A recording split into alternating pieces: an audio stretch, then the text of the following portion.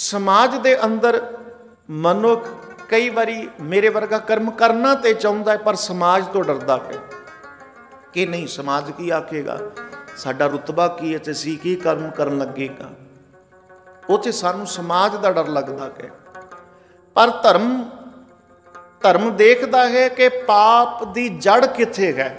ਉਹ ਸਾਡੀ ਆਤਮਾ ਦੇ ਵਿੱਚ ਹੈ, ਮਨ ਅੰਦਰ ਹੈ, ਜਿੱਥੋਂ ਫੁਰਨਾ ਫੁਰਿਆ ਹੈ, ਜਿੱਥੋਂ ਖਿਆਲ ਆਇਆ ਹੈ। ਤੇ ਜਿੱਥੋਂ ਖਿਆਲ ਆਇਆ ਹੈ ਨਾ, ਧਰਮ ਕਹਿੰਦਾ ਪਾਪ ਉਦੋਂ ਹੀ ਸ਼ੁਰੂ ਹੋ ਗਿਆ।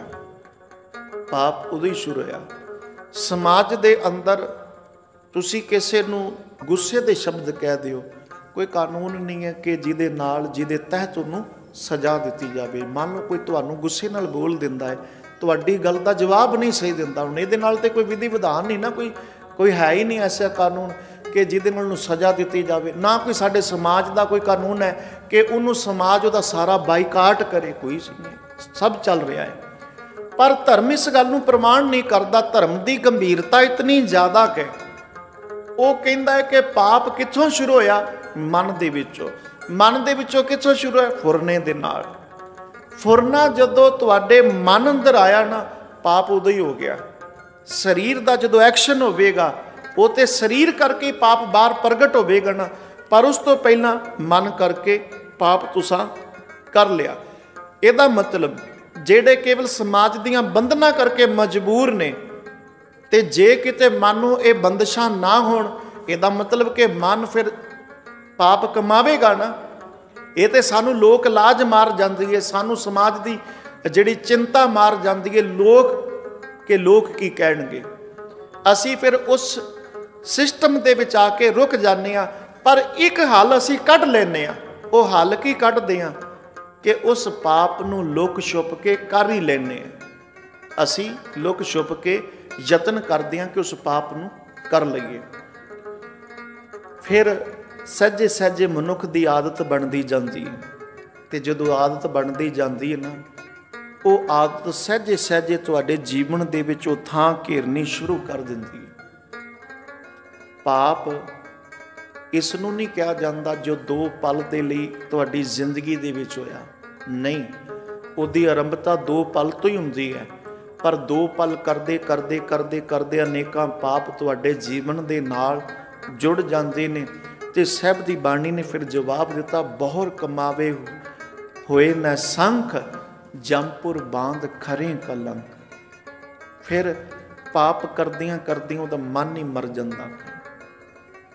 ਪਾਪ ਬੁਰਾ, ਪਾਪੀ ਕੋ ਪਿਆਰਾ। ਮਨ ਮਰ ਗਿਆ। ਫਿਰ ਉਹ ਇੰਨਾ ਪੱਕ ਜਾਂਦਾ ਕਿ ਪਾਪ ਦੇ ਅੰਦਰ ਉਹਨੂੰ ਸਮਾਜ ਦੀ ਕੋਈ ਸ਼ਰਮ ਨਹੀਂ ਰਹਿੰਦੀ। ਉਹਨੂੰ ਘਰਦਿਆਂ ਦੀ ਕੋਈ ਸ਼ਰਮ ਨਹੀਂ ਰਹਿੰਦੀ। ਉਹਨੂੰ ਕਾਨੂੰਨ ਦੀ ਵੀ ਕੋਈ ਪਰਵਾਹ ਨਹੀਂ ਰਹਿੰਦੀ। ਤਿੰਨੇ ਚੀਜ਼ਾਂ ਨੂੰ ਸ਼ਿੱਕੀ ਟੰਗ ਦਿੰਦਾ ਕਿ, ਤਿੰਨੇ ਧੜਕ ਹੋ ਕੇ ਪਾਪ ਕਰਦਾ ਕਿ। ਤੇ ਸਹਿਬ ਦੀ ਬਾਣੀ ਕਹਿੰਦੇ, ਸ਼ਰਮ ਧਰਮ ਦੋਇ ਛੁਪ ਖਲੋਏ। ਕੂੜ ਫਿਰੇ, ਪ੍ਰਧਾਨ ਵੇ ਲਾਲੋ ਖੇ ਲਾਲੋ ਐਸੇ ਮਨੁੱਖਾਂ ਦੇ ਮਨਾਂ ਦੇ ਅੰਦਰ ਨਾ ਸਮਾਜ ਦੀ ਸ਼ਰਮ ਸੰਗ ਰਹਿ ਜਾਂਦੀ ਏ, ਨਾ ਗੁਰੂ ਦਾ ਧਰਮ ਰਹਿ ਜਾਂਦਾ ਕਿ ਉਹ ਧਰਮ ਤੇ ਸ਼ਰਮ ਤੇ ਸੰਗ ਨੂੰ ਇੱਕ ਪਾਸੇ ਕਰਕੇ ਬਿਲਕੁਲ ਬੇਸ਼ਰਮ ਬਣ ਕੇ ਟੀਠ ਬਣ ਕੇ ਪਾਪ ਨੂੰ ਕਮਾਉਂਦੇ ਨੇ ਤੇ ਕਮਾਉਂਦੇ ਹੋਏ ਰਤਾ ਜਿੰਨਾ ਵੀ ਸੰਗ ਨਹੀਂ ਕਰਦੇ। ਇਹ ਤਿੰਨ ਢੰਗ ਨੇ ਮਨੁੱਖ ਦੇ ਪਾਪ ਕਮਾਉਣ ਦੇ। ਤੇ ਸੱਚ ਜਾਣਿਓ ਮਨੁੱਖ ਜਿਹੜਾ ਕਹਿੰਦਾ ਏ, ਪਾਪ ਕਰਨਾ ਤੇ ਚਾਹੁੰਦਾ ਹੈ ਪਰ ਸਮਾਜ ਦੇ ਡਰ ਤੋਂ ਕਰਦਾ ਨਹੀਂ। ਤੇ ਇੱਕ ਪਾਸੇ ਮਨੁੱਖ ਸਮਾਜ ਦਾ ਡਰ ਨਹੀਂ ਰੱਖਦਾ, ਪਾਪ ਕਰਦਾ ਏ। ਦੋਵੇਂ ਇੱਕੋ ਹੀ ਥਾਂ ਦੇ ਉੱਤੇ ਖਲੋਤੇ ਨੇ। ਫ਼ਰਕ ਕੇਵਲ ਇਤਨਾ ਹੀ ਹੈ, ਉਹਨੂੰ ਸਮਾਜ ਦਾ ਡਰ ਹੈ। ਇਹਦਾ ਮਤਲਬ ਜੇ ਸਮਾਜ ਦਾ ਡਰ ਹਟਾ ਦਿੱਤਾ ਜਾਵੇ ਤੇ ਉਹ ਵੀ ਉਸੇ ਥਾਂ ਦੇ ਉੱਤੇ ਖੜਾ ਹੈ ਜਿਹੜਾ ਦੂਜਾ ਬੰਦਾ ਸਮਾਜ ਦੇ ਵਿੱਚ ਪਾਪ ਤੇ ਕਮਾਉਂਦਾ ਹੈ, ਪਰ ਡਰਦਾ ਕਿਸੇ ਤੋਂ ਨਹੀਂ। ਦੋਨਾਂ ਦੇ ਮਨ ਦੀ ਅਵਸਥਾ ਇੱਕੋ ਜੀ ਹੈ। ਇਸ ਕਰਕੇ ਹਜ਼ੂਰ ਆਖਦੇ ਨੇ, ਸ਼ਰਮ ਧਰਮ ਕਾ ਡੇਰਾ ਦੂਰ, ਨਾਨਕ ਕੋੜ, ਰਿਹਾ ਭਰਪੂਰ ਹੈ ਨਾਨਕ ਜੀ। ਜਿਹੜਾ ਕੂੜ ਹੈ ਨਾ, ਉਹ ਸਾਡੇ ਜੀਆਂ ਦੇ ਅੰਦਰ, ਮਨ ਦੇ ਅੰਦਰ ਭਰਪੂਰ ਹੋ ਗਿਆ ਅਸੀਂ ਸੱਚ ਦੇ ਨਾਲੋਂ ਰੱਬ ਦੇ ਨਾਲੋਂ ਟੁੱਟ ਚੁੱਕੇ ਹਾਂ।